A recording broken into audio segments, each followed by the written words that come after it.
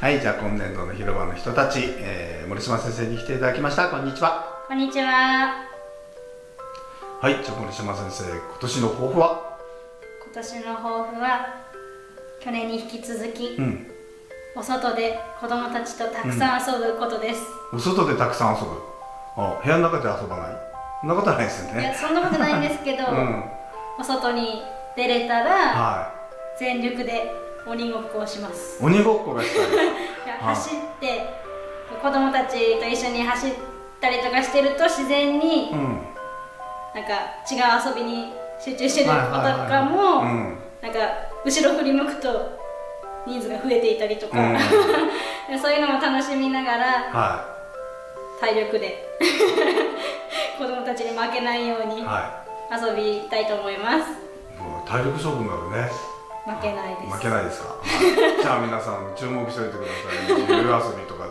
走り回ってる森島先生がいますので、はい、それあの疲れてる森島先生見たらば、う ん絶対あのそれは知った激励してあげてくださいね。はい。じゃあプライベートの方では？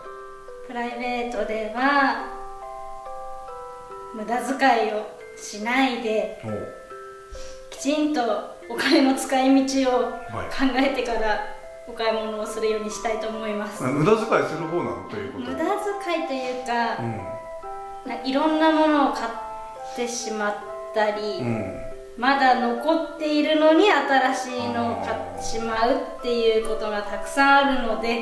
例えばじゃあ去年振り返ってみてあ一番無駄だったなっていうのは？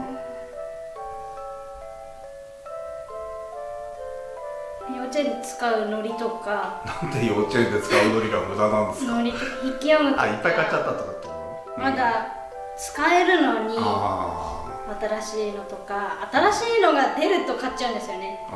お洋服とかもそうなんですけど。そのためには給料半分ぐらいにすると買えなくなるからそれがいいんじゃないかと思います貯金もしつつ 大事な今本当に買わなくちゃいけないものとか、うんを見極めたいですね。自分で困らないように後のこと考えて。ははい 重々考えてそれ大事に使ってください。